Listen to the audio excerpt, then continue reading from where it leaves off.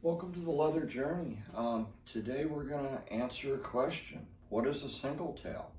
You hear single tails talked about a lot in, uh, in leather and in BDSM. And there's a colloquial use and then there's um, a functional use of that term. So most of the times colloquially, when a leather person or someone in the BDSM says single tail, they're talking about a dog signal whip. A dog signal whip has a heel knot, a thong, and it ends with the cracker or popper being braided or plaited directly into the whip.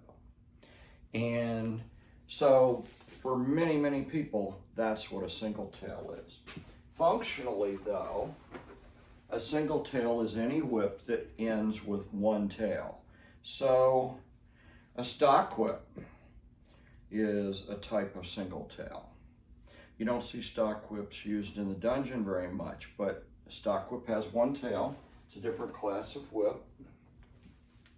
A snake whip has one tail. A snake whip's a type of single tail. a bullwhip ends with one tail. It's a type of single tail.